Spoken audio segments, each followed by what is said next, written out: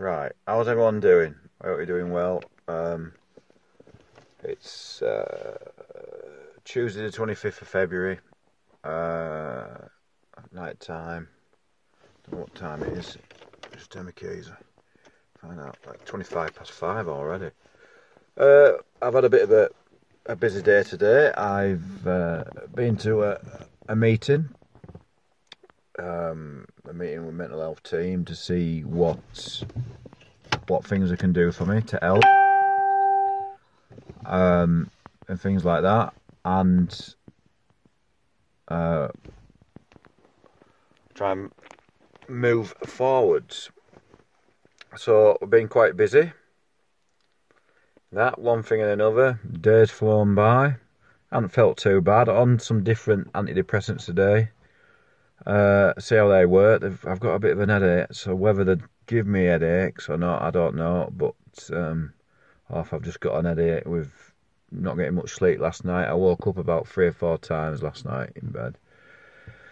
I don't know if that's through the painkillers that I'm taking or the antidepressants, and you know I'm taking all different things at the moment uh, to get myself back right. But um, yeah, today's not been a bad day. I've had actually had quite a good day today.